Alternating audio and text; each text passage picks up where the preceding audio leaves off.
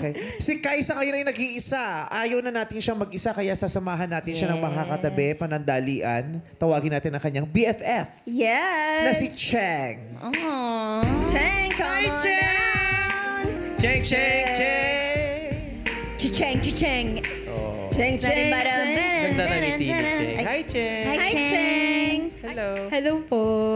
Best friends kayo? Yes po. Gano'n na kayo, gano'n kayo katagal magkaibigan? 11 11, years. years po. First year college. Ah, sa, sa anong school nyo? Cavite State University. Oh. Hi, CSU! College besties. Kamusta ka ngayon, Cheng? May boyfriend ka? May ka-live-in partner. Ay. Two kids with two kids. Taray. Si Kai ang single, kaya sinusuportahan mo siya ngayon. Opo. Gano'n ka nakatagal na single, Kai? Two years. Uh, yes, 2022. Kamusta naman yung dalawang taon ng single? Malungkot ba yon?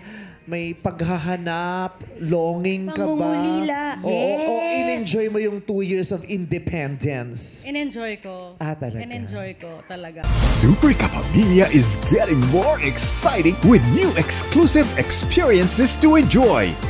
Be a Super Kapamilya now!